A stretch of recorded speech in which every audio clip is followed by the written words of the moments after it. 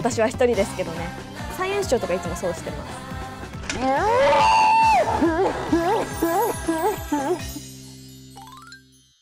皆さんこんにちは。科学のお姉さんこと五十嵐美希です。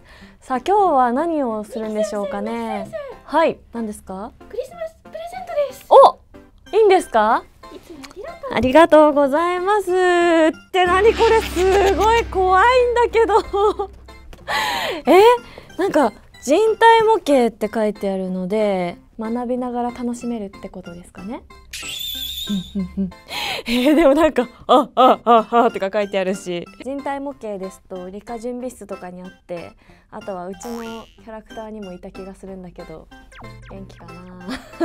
今日は穴彦だと思ってちょっとやってみようかなと思います。それではレッツサイエンス。それでは早速開封おおでん顔。いい何これ。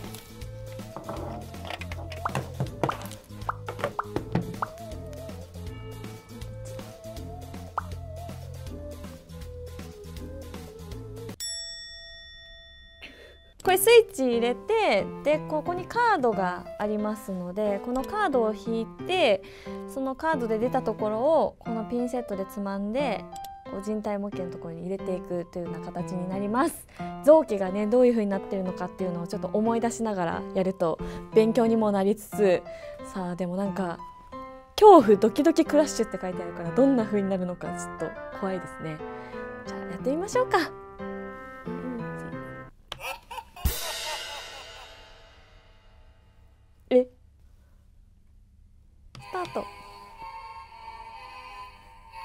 かめっちゃ音楽流れてきた。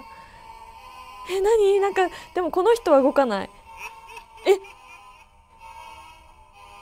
どうやって喋ってるの？じゃあまずカード引きます。じゃん。膵臓胆のパーツを戻せ。ちなみに膵臓胆のパーツは肝臓で生成された胆汁を蓄えてこれが胆の十二指腸へ分泌する役割を担っている臓器ということなんですけれどもこれだけ出てくるとねちょっとなんだっけってなると思うんですけど場所とか見ればねどこがどうつながってるかまたわかるかもしれない。うるさいなもう。こんな形してます。えー、結構結構滑りますよこれ。こうやって。ここに？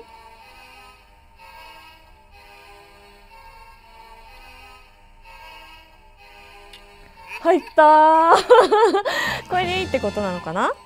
よし。じゃあ続いてじゃん。左手パーツを戻せ。じゃあ左手いきます。左手。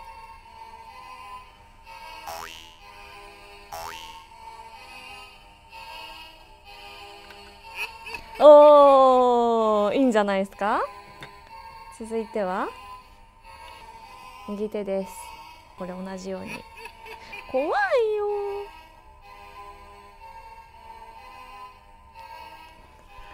あなんかいい感じじゃないですか。よし。あまあでも関係ないけどね。一応2つ連続カードっていうのもあってお友達とやる時とかは2回連続でやんなきゃいけないみたいのがあるらしいです。まあ私は1人ですけどねはい、続いて膀胱パーツです。尿を蓄え体の外に排出する役割を担っている臓器です。こんな形です。おーこんな形なんですね。君の膀胱を刺してあげよ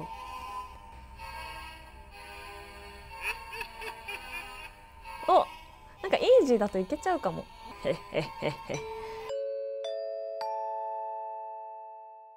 続いて血小板の貯蓄や古くなった赤血球を破壊し除去する役割を担っている臓器。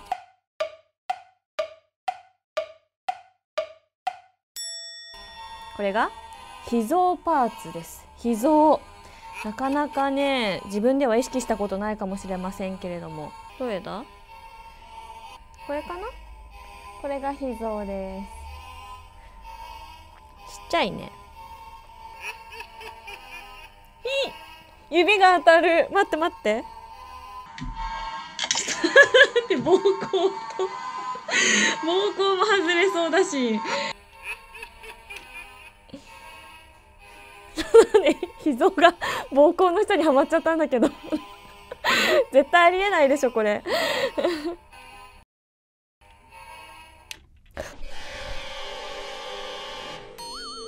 怖い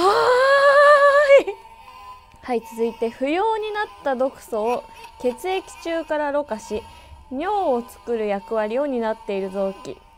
さあ皆さんこれ何かわかりますか？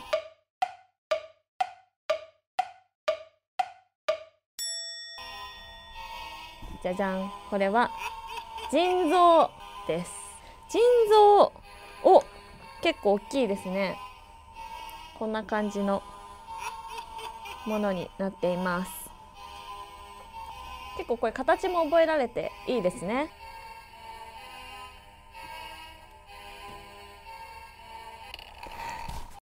お今度は？右足パーツ。なんか愛着が湧いてきたけど。次は？血液を全身の血管に送り届けるポンプの役割を担っている重要な臓器。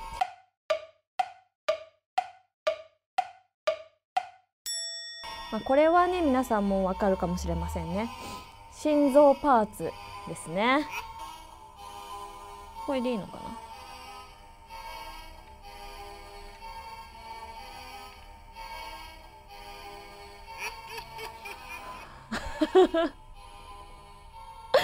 怖いけどなんかすごいいい感じにセットされてきましたね。小腸で吸収されたものからさらに水分を吸収して便を溜めたり排出する役割を担っている臓器です。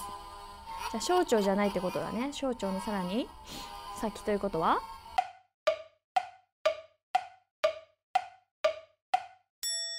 お大腸でした。これか。こんな感じです。でもなんか実際にこれ解剖とかそういうもののなんか勉強にもなる気がします。なんか教材としてもすごくいいのかなって思います。怖っ。え？これが？これがどこに来るの？こう嫌な予感。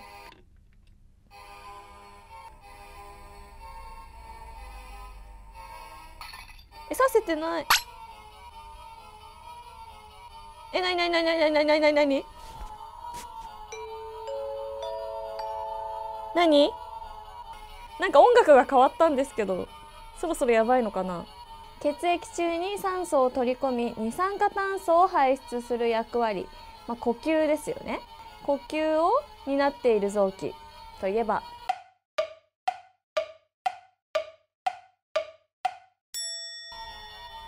肺です。しかも今回は左肺ということで左肺右肺と左肺で形がちょっと違いそうな感じがします。はい左肺え怖い怖い怖い。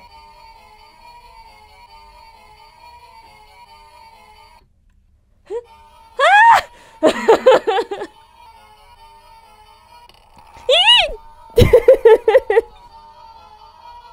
左肺が浮いてる。左肺浮いてるよ。入った肺だけに。肺だけに。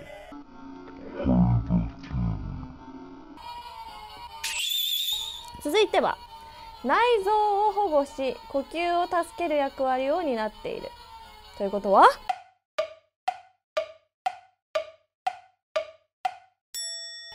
まさか。出た。肋骨。肋骨先つけちゃったら内側が後から出てきたら大変ですよね。じゃあ肋骨いきます。おー。続いて血液中に酸素を取り込み二酸化炭素を排出する役割呼吸を担っている臓器ということはさっきと一緒なんですけれども肺なんですが右肺ということは肋骨一回取らなきゃいけないってことですね。おお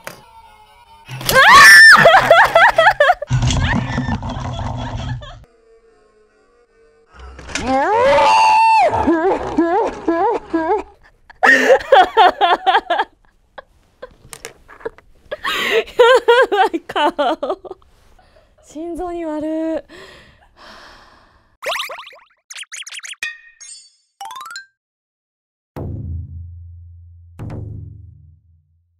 さあ来ました。胃から送られてきた食物をさらに消化分解し栄養分と水分を吸収しながら大腸へ送る役割を担っている臓器です。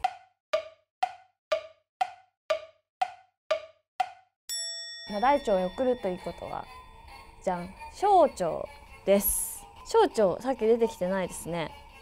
どれだ？これだね。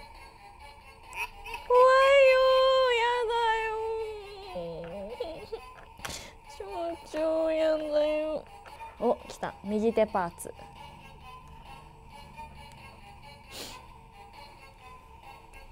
右手はね結構なんか慣れてきた気もするけど結構それでもぐらつくから。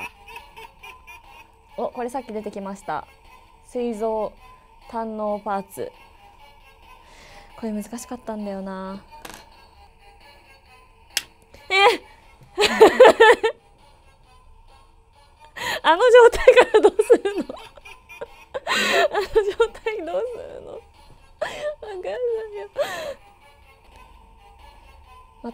カードというものもあるそうです。これは次の人がカードを引いた時に代わりにその指示に従うというのもあるみたいです。来ました今度は。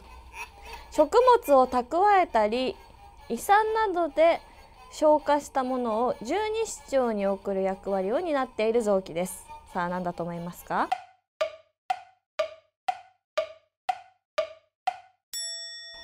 まあ胃酸があるということなんでじゃん。胃ですね。お初めて出てきたぞ。じゃじゃーん。こんな形でびっくりした。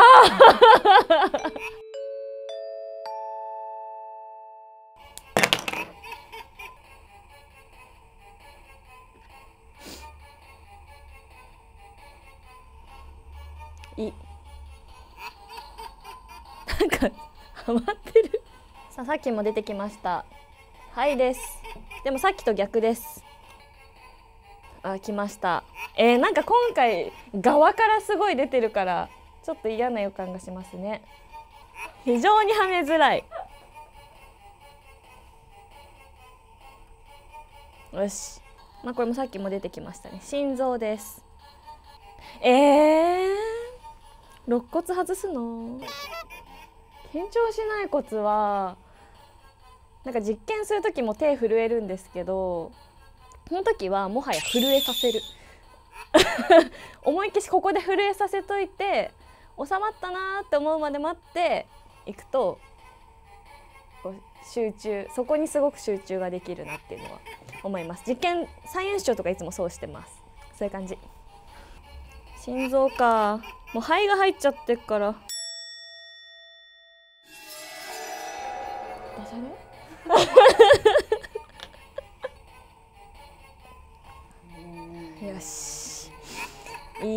いね来た。右足。集中力が。腎臓出ましたね。腎臓です。もうなんかだんだん覚えてくるのもいいですね。続いては大腸です。さあどんな形だったか覚えてますか？こんな感じでしたね。肋骨戻してない。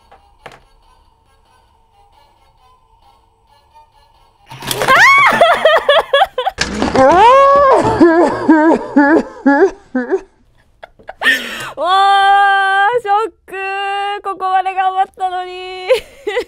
や難しい。これやっぱカードの順番大事ですね。外側の大きいやつから入っちゃうと中のちっちゃいやつのためにもう一回取り出さなきゃいけないから。ということで。さあ皆さんいかがでしたか？これお友達同士でやったらすごくドキドキしてまたこのカードの順番とかもあるのですごく盛り上がるのかなと思います。あとは何よりもこの臓器の形を立体的にこう覚えながらどこにあるのかどんな働きをしているのか知らぬ間に覚えられるんじゃないかなというふうに思いました、まあ、ただこういうふうに、まあ、平面で何かいろいろ覚えていくっていうよりも、まあ、実際にこういうふうに立体的に見つつさらに、ドキドキしますよね。それがすごく大事だなと思っていてはあなんか大丈夫かなって思いながらやるのってすごく記憶に残ると思いますのでいいのではないかなというふうに思いました。でも怖かったよ。アナヒコアナヒコはどういうふうにいつも喋ってたんだ？ということでこの動画がドキドキしたよ。面白かったよ。ちょっと勉強になったよ。という人はグッドボタンとチャンネル登録をお願いします。それではまたお会いしましょう。バイバーイ。